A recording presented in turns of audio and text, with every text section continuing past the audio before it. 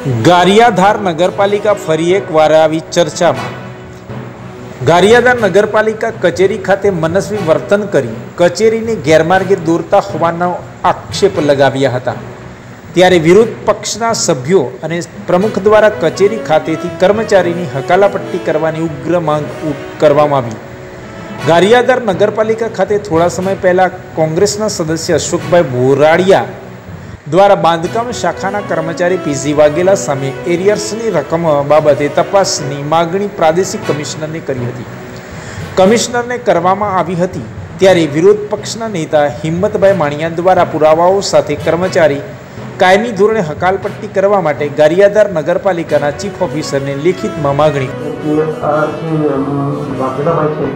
એમને વિરુદ્ધ એરિયસ મેળવી અને ડોક્યુમેન્ટ રજૂ કરી અને કાયમી ધોરણે જે થઈ ગયા છે પગારદાર એના વિશે તમે શું કહો છો?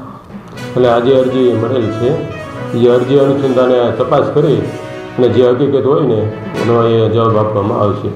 આજે જે એફિડેવિટ છે તે એફિડેવિટ નગરપાલિકામાં હોવા છતાં અમુક જે કર્મચારીઓ છે કે એ એવું કહે છે કે જે ફાઇલ છે ખોવાઈ ગઈ છે. એ ના એ જે હકીકત હોય ને એનો જવાબ આપવામાં આવશે. કેટલા ટાઈમમાં બાબતનો જવાબ આપવામાં આવશે? હવે ચોક્કસ તો ટાઈમ ન કહી શકાય પણ કદાચ મિનિમમ એક વીક તો થઈ જાય. જી આપનું નામ? રોજભાઈ કાસમણી પૂર્વ નગરપાલિકા સદસ્ય. હાલ મારા વાઇફ ગારિયાધર નગરપાલિકાના સદસ્ય છે. મુદ્દાની વાત એ છે કે ગારિયાધરની અંદર ઘણા સમયથી ઓળો મોટો ભ્રષ્ટાચાર ચાલી રહ્યો છે. જેની જેની કોઈ સીમા નથી. પહેલી વાત તો એ કરવા માગું છું કે મને સાંભળે છે ચાહુજીની વાત કરું છે કે આ વાઘેલાભાઈ છે.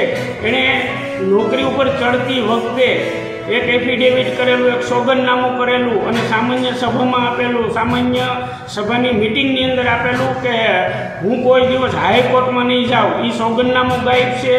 રહી બીજી કે થોડાક ટાઈમ પહેલાં જ નગરપાલિકાની અંદર ટ્રેપ થઈ હતી એની અંદર ચીફ ઓફિસર અને એન્જિનિયર આવી ગયા. એમાં પણ વાઘેલાભાઈનું અત્યારે કેવી રીતે દૂર છું છે એની તપાસ થવી જોઈએ. રહી વાત બીજી કે આ ગારિયાધરની નગરપાલિકાની અંદર, ગારિયાધરની સંસ્થાની અંદર થોડી મોટી નુકસાની એરિયન્સ વિશેની થઈ છે. પહેલાં તો કોઈ દિવસ એરિયન્સ કોઈ લઈ ના શકે. અને જેટલા જેટલાને એરિયન્સ ચૂકવાનું છે એની બધાની તપાસ થવી જોઈએ.